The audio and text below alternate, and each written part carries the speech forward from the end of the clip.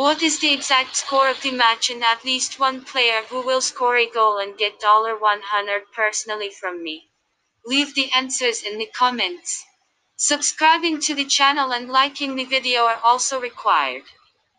We register by reference in the attached comment, enter the promotional code, we get an advance rate on your account. Opel Arena will host Saturday's football game between Mainz and Bayer Leverkusen, the two teams who sit in the bottom half of the table ahead of Day 5. Dynelfen made a slow start to the season, with the team losing each of their first three league fixtures, and given their shaky defense, home win should not be considered. The good news for the hosts, though, is that defender Moussa Niakhaté returns from suspension.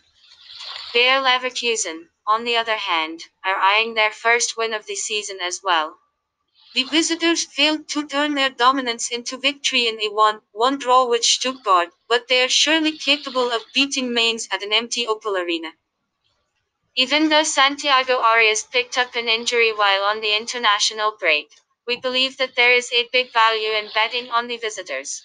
Prediction 1.